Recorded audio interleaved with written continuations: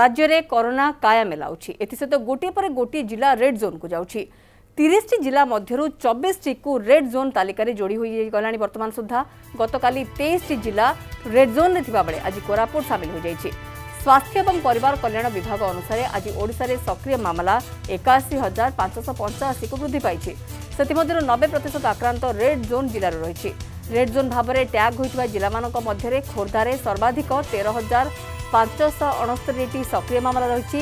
ହଜାରେରୁ ଅଧିକ ସକ୍ରିୟ ମାମଲା ଥିବା ଅନ୍ୟ ତେଇଶଟି ଜିଲ୍ଲା ହେଉଛି ଅନୁଗୁଳ ବାଲେଶ୍ୱର ବରଗଡ଼ ଭଦ୍ରକ ବଲାଙ୍ଗୀର ବୌଦ୍ଧ କଟକ ଗଞ୍ଜାମ ଜଗତସିଂହପୁର ଯାଜପୁର ଝାରସୁଗୁଡ଼ା କଳାହାଣ୍ଡି କେନ୍ଦୁଝର କୋରାପୁଟ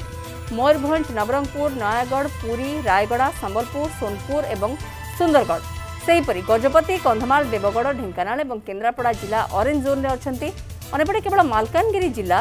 ଗ୍ରୀନ୍ ଜୋନ୍ରେ ଅଛି